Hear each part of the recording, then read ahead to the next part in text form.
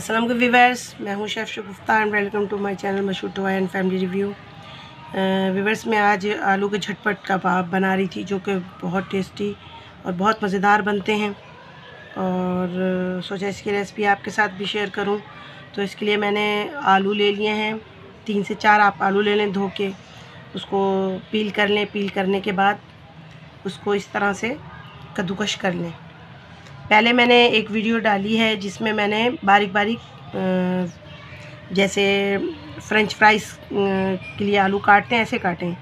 लेकिन ये दूसरे स्टाइल से मैं बना रही थी। ये भी बहुत मज़ेदार इस स्टाइल से भी बनते हैं। तो इस तरह से आलू जो है पील कर लेंगे। पील करने के बाद हम इसको कद्दूकश लेंगे। कद्दूकश लेके इस तरह से कद्दूकश कर लेंगे। इस तरह से, ये देखिए। आसानी से ये जो है, इस तरह से ये पील हो जाते हैं। सॉरी ये क्रश कर लेते हैं इसको आसानी से कद्दूकश आप भी कर लें। करने के बाद अगला प्रोसेस क्या है तो मैं आपको बताती हूँ किस तरह बनेंगे। देखिए विवर्स दो अंडे लिए, इसको अच्छी तरह से फेंट लेंगे। इसको, इसके बाद ये देखें पोटैटो का कलर कितना खूबसूरत आ गया है।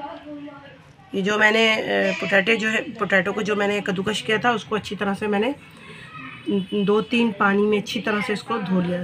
दो तीन पानी में मतलब दो तीन दफ़ा इसको अच्छी तरह से धो लिया और उसको अच्छी तरह से दबा दबा के हाथ में इस तरह ले लेके दबा दबा के इसका सारा पानी निकाल लेंगे और ये देखिए इस तरह हो जाएगा।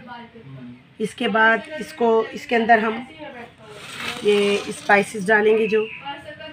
तो उसके अंदर मैंने तकरीबन दो चम्मच मिर्ची, एक चम्मच नमक और एक चम्मच ज़ीरा लिया है। और अगर आप चाहें तो ब्लैक पेपर काली मिर्च का पाउडर और गरम मसाला भी डाल सकते हैं, लेकिन मैं नहीं डाल रही हूँ। अब इस स्पाइसेस को इसमें मिला देंगे। देखें वर्स तमाम स्पाइसेस और अंडे वगैरह जो है, हमने मिला दिए। अब ये बीच में जो है, ये कॉर्न स्टार्च देख लें। तकरीबन दो चम्मच कॉर्न स्टार्च ये भी जाएगा। इन सबको मिला के अच्छी तरह से हाथ से हम इसको मिक्स कर लेंगे। ये देखें बस अंडे आप फेंट लें, आपकी मर्ज़ी है। नहीं फेंट लें अंडे तो कोई बात नहीं मिक्स तो हो ही जाएगा जब आप हाथ से या स्पून से। स्पून से मैं नहीं कर रही हूँ क्योंकि हाथ से जो है काम इजीली और बहुत अच्छी तरह से हो जाता है। ये देखें, ये अच्छी तरह से सारा मिक्स हो गया।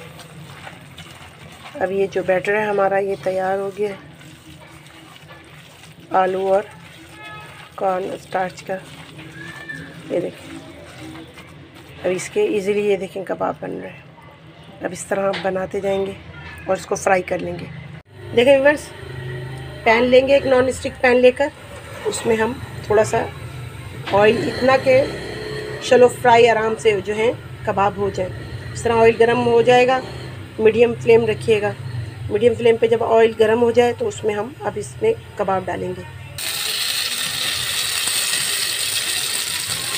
इस तरह से स्पून से डाल के तो हम कबाब की शेप देते जाएँगे।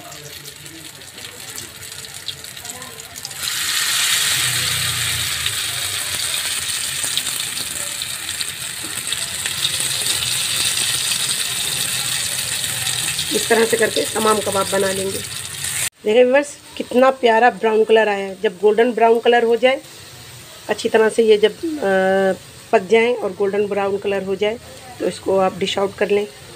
और मैं अभी डिश आउट करके आपको दिखाती हूँ कि इसका लुक कैसा आता है। देखें वर्स मज़ेदार से पोटैटो कबाब बन के तैयार हैं। इसी से मिलती जुलती रेसिपी मैंने पहले भी डाली है। आप वो भी देख लीजिएगा, वो भी उस तरीके से बनाएँगे, तब भी बहुत मज़ेदार बनेंगे। और अगर आप इस तरीके से बनाएँगे, ये भी बहुत मज़ेदार बनेंगे। आप इसको जैसे जी चाहे बनाएँ और इसको खाएँ। और ये देखिएगा कि मैंने इसमें कॉर्न स्टार्च जो है कॉर्न फ्लोर जो है, वो डाला है। आप चाहे तो मैदा भी थोड़ा सा डाल सकते हैं, लेकिन कॉर्न स्टार्च या कॉर्न फ्लोर डालने से जायका ज़्यादा अच्छा आता है।